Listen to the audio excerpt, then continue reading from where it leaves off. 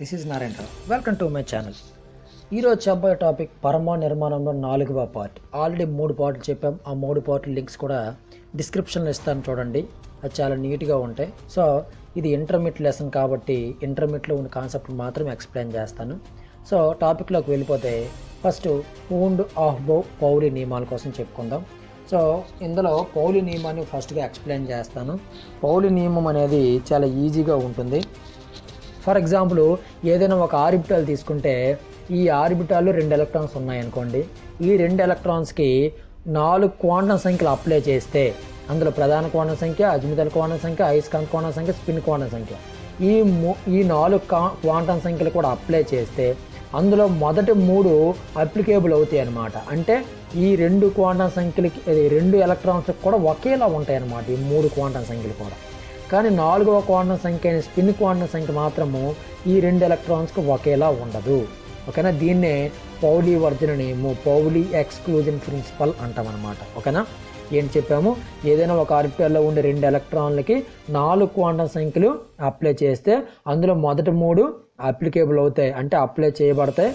కానీ చివరి spin quantum సంఖ్య అప్లై చేయబడదు. ఓకేనా? అది ఎందుకు అనేది ఇప్పుడు రీజన్ చెప్తాను. ఈ రీజన్ అనేది మీరు పబ్లిక్లో రాయవసరం లేదు. బట్ మీకు అర్థం కావడం కోసం చెప్తాను. ఫర్ ఎగ్జాంపుల్ ఈ రెండు ఎలక్ట్రాన్లకు ప్రధాన కోణ సంఖ్య ఒకటే అని ఎలా చెప్తాను చూడండి. ఫర్ ఎగ్జాంపుల్ ప్రధాన కోణ సంఖ్య దేన్ని తెలియజేస్తుంది? కక్షల సంఖ్యను తెలియజేస్తుంది. ఓకేనా? మొదటి కక్షలో ఎస్ఆర్పిఎల్ ఉందనుకోండి. ఈ ఎస్ఆర్పిఎల్లో ఈ మొదటి కక్ష అంటే ఈ ఎస్ఆర్పిఎల్లో ఉన్న రెండు ఎలక్ట్రాన్లు కూడా మొదటి కక్ష అవుతుంది కదా? అవుతుందా లేదా? అంటే ప్రధాన కోణ సంఖ్య ఈ ఎలక్ట్రాన్కి విలువ ఒకటే ఈ ఎలక్ట్రాన్కి విలువ ఒకటే. ఓకేనా? అలాగే అజ్మితల కోణ సంఖ్య చూడండి. అజ్మితల కోణ సంఖ్య అంటే దేన్ని తెలియజేస్తుంది? అందులో ఉప ఆర్బిటాల్స్ అంటే ఎస్ ఆర్బిటాల్ ఎన్ని పి ఆర్బిటాల్ ఎన్ని డి ఆర్బిటాల్ ఎన్ని అని తెలియజేస్తుంది అవునా కాదా? సో ఇక్కడ ఎస్ ఆర్బిటాల్ ఎన్ని? ఒకటే. ఓకేనా? ఈ ఎస్ ఆర్బిటాల్ విలువ ఎంత? అజిమితల కోణ సంఖ్య సున్నా. సున్నా కదా?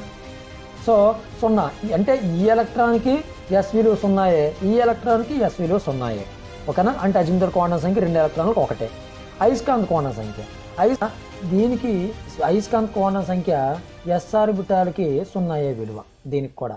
సో ఇక్కడ మీరు అబ్జర్వేషన్ చేస్తే ఇక్కడ ఉండే ఎలక్ట్రాన్ అంటే మొదట ఉండే ఎలక్ట్రాన్కి దాని విలువ ఎంత ఉంటుందో రెండు రెండో ఎలక్ట్రాన్కి కూడా దాని విలువ అంతే ఉంటుంది. అంటే అయస్కాంత క్వాంటం సంఖ్యకి కూడా మనకి ఎటువంటి మార్పు లేదనమాట ఎలక్ట్రాన్స్ పరంగా చూసుకుంటే. లాస్ట్కి స్పిన్ క్వాంటం సంఖ్య. ఈ స్పిన్ క్వాంటం సంఖ్య అనేది మీరు అబ్జర్వేషన్ చేస్తే సవ్య దిశలో ఉండే ఎలక్ట్రాన్కి ప్లస్ ఆఫ్ విలువ వస్తే అపసవ్య దిశలో ఉండే ఎలక్ట్రాన్కి మైనస్ ఆఫ్ విలువ వస్తుందన్నమాట. అంటే ఇప్పుడు స్పిన్ క్వాంటం సంఖ్య ఈ రెండుకి వేరువేరుగా ఉందా లేదా? ఉంది. సో మీరు ఇక్కడే మీకు అర్థమైపోతుంది అనమాట అంటే మొదట మూడు క్వాంటం సంఖ్యలు ఈ రెండు ఎలక్ట్రాన్లకు ఒకేలా ఉన్నా చివరికి స్పిన్ క్వాంటం సంఖ్యకి మాత్రము అవి వేరువేరుగా ఉంటాయి అన్నమాట ఓకే? నెక్స్ట్ నేమ్ ఏంటి? ఆఫ్ బౌ నెక్స్ట్ ఏంటి? ఆఫ్ బౌ నియమం ఆఫ్ బౌ చాలా ఈజీగా ఉంటుంది. ఇక్కడ కూడా మీరు ఈజీగా చూసుకోవచ్చు అనమాట ఇక్కడ మీరు ఆల్రెడీ మీకు టెన్త్ క్లాస్ లెసన్లో ఈ కాన్సెప్ట్స్ అని చెప్పాను. ఆ లెసన్ మీరు పూర్తిగా చూస్తే మీరు ఇది మీరు స్కిప్ చేసుకోవచ్చు. ఎందుకంటే అది వింటే ఇది మీకు ఇంకా చాలా ఈజీగా అర్థమవుతుంది. అందులో చాలా నీట్గా ఎక్స్ప్లెయిన్ చేశాను. అందుకని మీకు వివరంగా చూడమని చెప్పడం. సో ఆఫ్బో నియమం అంటే ఏంటంటే తక్కువ శక్తి స్థాయిలో ఎలక్ట్రాన్ నిండిన తర్వాతే ఎక్కువ శక్తి స్థాయిలో ఎలక్ట్రాన్స్ నిండుతూ ఉంటాయి అన్నమాట ఓకేనా? తక్కువ శక్తి స్థాయిలో ఎలక్ట్రాన్ నిండిన తర్వాతే ఎక్కువ శక్తి స్థాయిలో ఎలక్ట్రాన్ నిండుతాయి. అందుకే మొదటి తక్కువ శక్తి స్థాయి అంటే మొదటి కక్షలో ఉండే ఆర్బిటాల్స్కి తక్కువ శక్తి ఉంటుంది. ఓకే?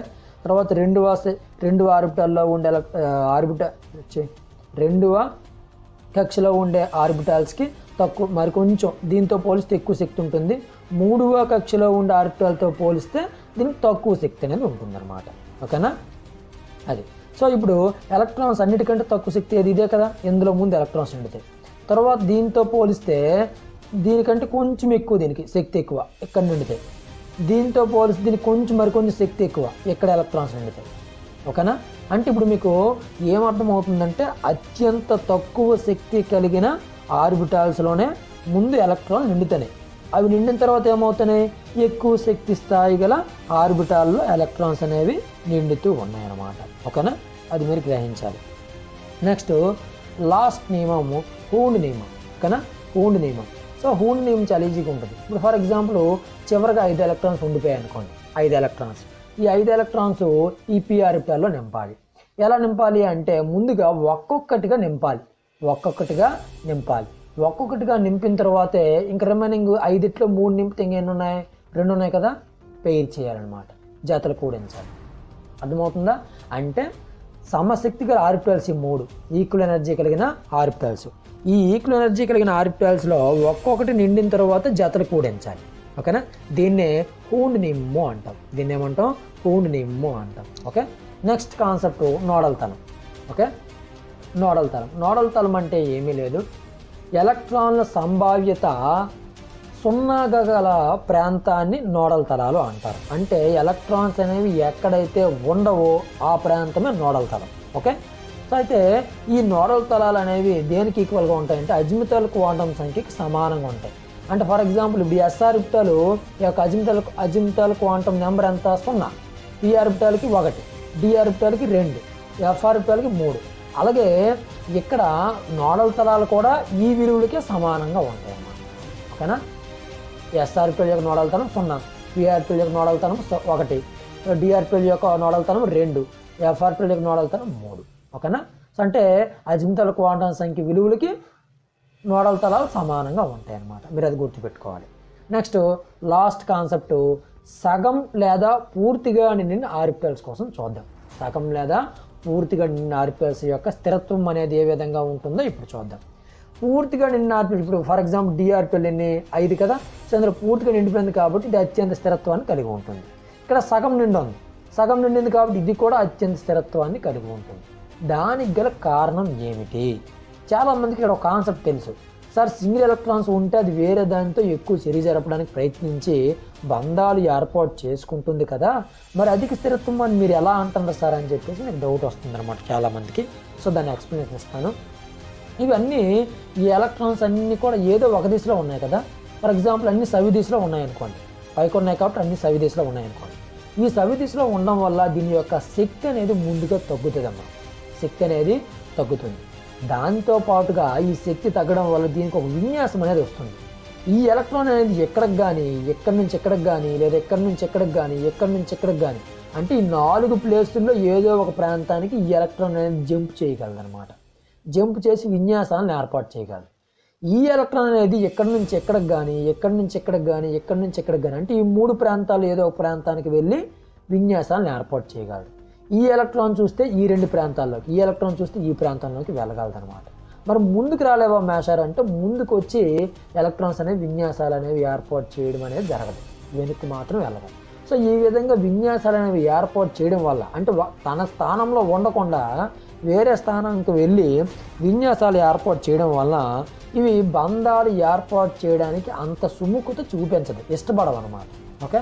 సో అందువలనే సగం లేదా పూర్తిగా నిన్న ఆర్పిలో స్థిరత్వం కలిగి ఉంటాయి. ఓకేనా? అది. మరి పూర్తిగా నిన్న ఆర్పిలో స్థిరత్వం ఎలా మేసారంటే మీరు టెన్త్ క్లాస్లో నేర్చుకుని ఉన్నారు. పూర్తిగా నిన్న వాళ్ళు జతలు కూడా ఉన్నాయి. ఇవి సింగిల్ ఎలక్ట్రాన్స్ లేవు కాబట్టి వేరే దాంతో అంత చర్య జరపవు అన్నమాట. ఓకే? సో లా లాస్ట్ కాన్సెప్ట్ హైసన్బర్గ్ అనిశ్చితత్వ నియమం. హైసన్బర్గ్ అనిశ్చితత్వ నియమం అంటే ఏంటంటే ఎలక్ట్రాన్లు అనేవి ఏవైనా ఉన్నాయంటే వాటి యొక్క స్థానాన్ని కానీ వాటి యొక్క ద్రవ్య వేగాన్ని కానీ ఏకకాలంలో ఒకేసారి కనుక్కోలేమన్నమాట. అంటే ఎలక్ట్రాన్స్ ఎక్కడున్నాయి? వాటి యొక్క వేగం ఎంత? అనేది మనం ఒకేసారి పసిగట్టి చెప్పలేం. ఓకేనా? దాన్ని హైసెన్బర్గ్ అనిశ్చితత్వ నియమము అంటాం. ఓకే? దీన్ని గణ గణితాత్మక ఫార్ములా గణితాత్మక ఫార్ములా ఈ విధంగా రాసుకోవచ్చు. Delta X into delta P greater than or equal to H by four పైగా రాసుకోవచ్చు. డెల్టా ఎక్స్ అంటే దాని యొక్క స్థానంలో మార్పు రేటు డెల్టా పి అంటే దాని యొక్క ద్రవ్య వేగంలో మార్పు రేట్ అనేది హెచ్ బై ఫోర్ పైకి సమానంగా ఉండొచ్చు లేదా హెచ్ బై ఫోర్ పై కంటే కొంచెం ఎక్కువగా ఉండొచ్చు అనమాట ఓకే? దీన్నే ఐసెన్బర్గ్ అనిశ్చితత్వ నియమం అంటాం ఇక్కడతో ఈ పరమో నిర్మాణం కాన్సెప్ట్ అనేది పూర్తయింది. సో మీరు ఇదివరకే నేను చేసిన part one part two part three చూసి ఈ పార్ట్ ఫోర్ కూడా ఒక దగ్గర మీరు రాసుకొని నోట్స్ రాసుకొని పెట్టుకుంటే మీరు ఇంటర్మీడియట్లో మంచి మార్క్స్ అనేది గెయిన్ చేయవచ్చు అనమాట సో ఎక్కడితో ఈ కాన్సెప్ట్ పూర్తయింది? ఈ కాన్సెప్ట్ నచ్చినట్లయితే ఒక లైక్ చేయండి షేర్ చేయండి. నెక్స్ట్ ఎపిసోడ్తో మళ్ళీ కలుద్దాం. Bye bye.